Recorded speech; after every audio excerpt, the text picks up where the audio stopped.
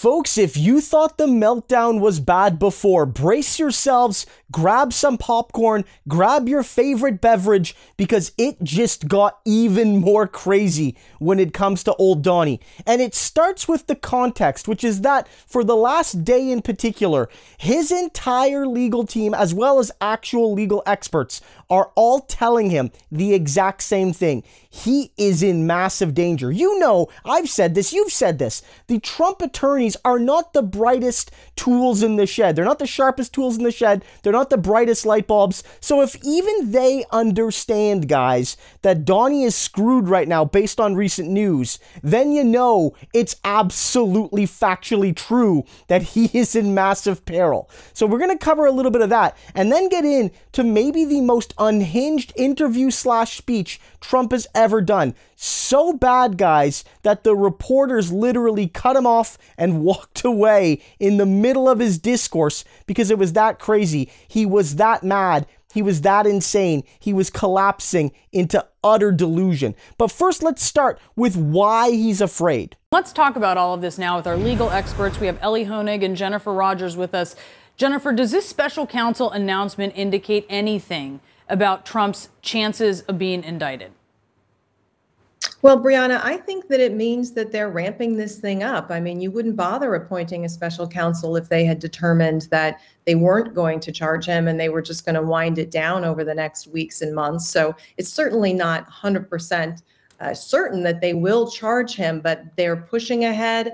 Uh, they're issuing subpoenas, and this definitely means that there is at least a good chance that ultimately there will be charges filed. Elie, Trump's response to this was to say, I announce, or, or, you know, I announce I'm running, and then they announced that they're going to do this with the special counsel.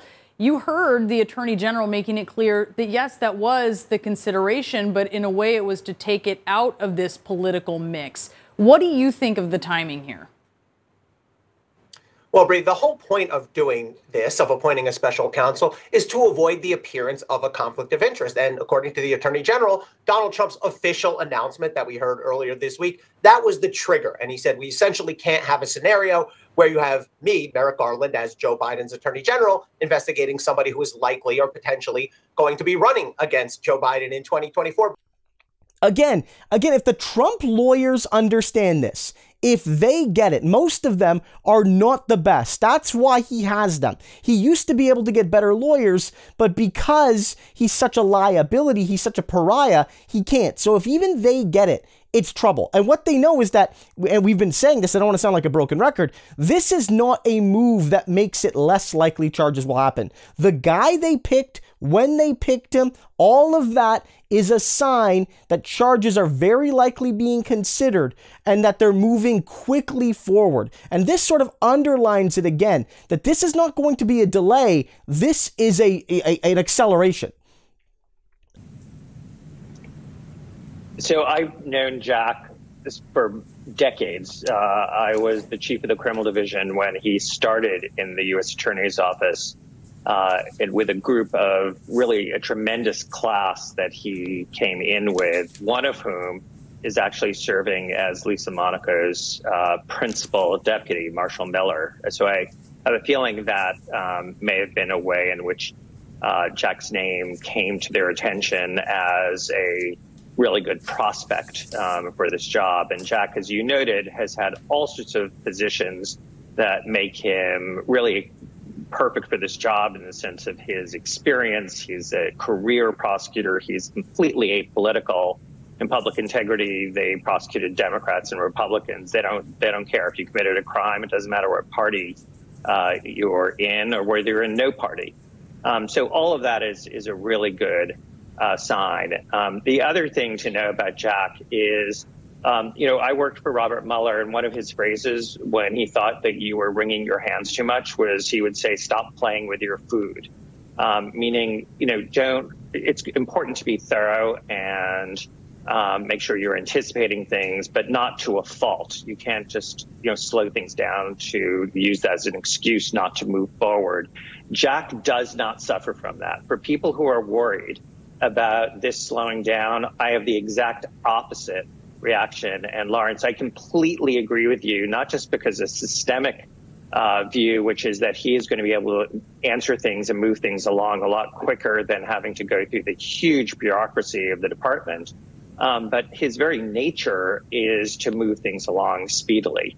Um, that's that's how he was trained in the Eastern District, and that's sort of who he is. Um, very much a can-do person.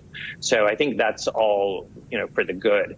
And in terms of um, our model prosecution memo, yes, of course, I'd love it if if he read it. I'm pretty sure he's reading lots of binders of evidence um, that we'd all love to get our hands on. And if there's um, if there is an indictment, we will see a lot of that evidence. Again, I think that's really important because, and th- and this is a mistake I think I made. I'm not a lawyer. Most of you aren't either. But you know, a lot of us just assumed that a special counsel would automatically entail a delay. That you know, the whole thing would be almost starting from not from square one, but from square two or square three in a multi-square process, where they would have to sort of ramp up and sort of make their own decisions, and they might retrod the ground that Garland and the existing team has already done, but apparently that's not the case. This guy, because a lot of the work is already done, and he's going to be building upon it rather than re, you know, retrotting that trail, and the fact that he's such a big dog expert makes it more likely that it's going to be faster. That was somebody that has no other case to deal with, no other issue to deal with. They're just looking at Trump and the J6 stuff and the Mar-a-Lago stuff. That is it it's going to go faster. And this is bad for Trump because remember, he one, yeah, he fears punishment, but he also fears the quickness of punishment. Remember that. Donald Trump's goal has always been to delay and deny. And whenever he finds out something is going to go faster, that's really bad news for him. That's why moments ago everyone tore in to his recent discourse. Here's just one example of the media ripping into him after they cut away from the BS. So they cut away from him, and this is what they went to. We're going to get into some of the words Trump said because my God, it's insane. But watch this. I want to start with you. Your reaction. Well, I, you know what? I don't. I don't want to talk about the former president what he said anymore because so much of it was, I think, misleading or, or just, you know, shiny objects there. Nonsense. Yeah. So Merrick Nonsense, Garland. John. Merrick Garland. Uh, the appearance of a conflict. How necessary was it, do you think, for a special counsel? I think the attorney general had a lot of discretion here to make the decision for a special counsel. Um, he didn't have to do it. He wasn't required by law to do it, but it's in his good judgment to do so. And he gave the reasons for it. In particular, um, the timing with respect to the former president's announcement that he is now a candidate, and the fact that the current president uh, has indicated all of his intentions to run too. So, what the attorney general is concerned about is that the appearance of a conflict, the appearance of impartiality. Partiality and so, I think his decision to move forward with the special counsel is absolutely defensible if it wasn't absolutely required. Like I think that's wild, guys. Absolutely wild. That you know, he everyone knows he's crazy. He went up to this banquet, almost crashed this banquet, which was supposed to be about something entirely different. He got up there in a tuxedo, just screaming and ranting and lying profusely. And here's just a couple examples where Donald Trump is not only insane, but he's actively calling for like unjust persecution of his political enemies. Really a sort of soft violent act at the very least. Why aren't they investigating all of the other presidents that preceded me, including Bill Clinton, both Bushes, Obama, and of course Hillary Clinton, where she illegally deleted 33,000 emails after getting a top level subpoena from the U.S. Congress. So she's allowed to get a subpoena and delete 33,000 after the subpoena, not before, after. Why aren't they going after all of those presidents that kept documents where in a couple of, they have to invade, this is Mar-a-Lago, they have to invade Hillary and Bill Clinton's beautiful home in Westchester. They have to invade the Bush's home. They have to invade a lot of homes. But they didn't do that. And they took documents, they took a lot of things. And that's what we have the Presidential Records Act for. Like that's what he spent his time talking about. That's what it was, right? That's the that's the the, the insanity. He he continues to try and attack his political enemies, people who have not been anywhere accused of the things he's done, but simply because you know, he got he did something illegal, everyone else must have done it. And because everyone else must have done it, then then he shouldn't be punished unless everyone else is punished for the things they didn't do, right? Like it's it's it's asinine and it's insane. And here's the moment where the media cuts away from him in record time in a way I haven't really seen in a long long time. And they won't be in for weeks.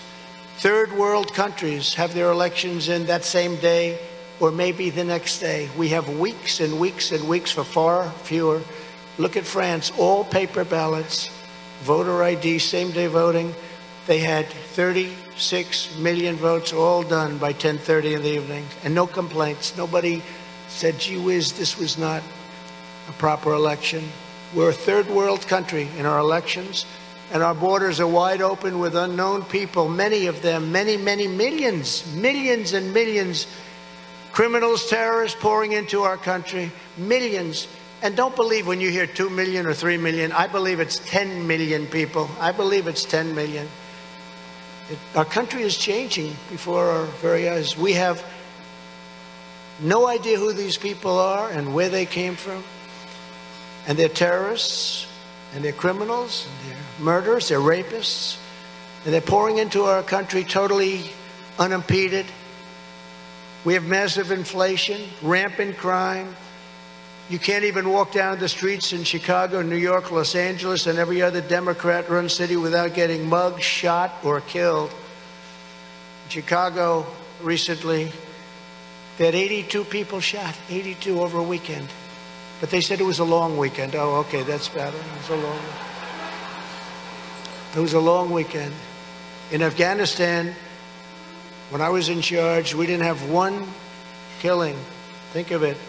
In 18 months, not one of our soldiers were killed. And then you look at Chicago and you look at other things. Former President Trump has moved on to other topics. We'll take this opportunity to move on with our program schedule. U.S. Attorney General Merrick Garland has appointed Jack Smith as special counsel to over. So after he's collapsing into his madness, his insanity, they cut away there, right? He calls for violent invasions of his political enemies. He's screaming and ranting and lying, and he's rambling like an SOB, and the media cuts away from him. It's a real sign that he is broken because his lawyers told him you know, this is going bad for you. Experts said this is going bad for you and going bad quicker than we thought. And now he can't even contain it. It's great to see, in a sense, this man dissolving into delusion, crashing into delusion. And it's only going to get worse from here.